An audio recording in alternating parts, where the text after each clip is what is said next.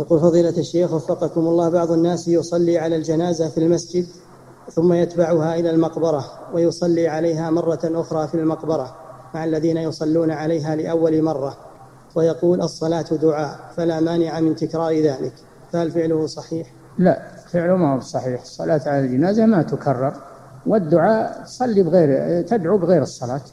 صليت عليه وتريد الزيادة ادعو له بدون صلاة نعم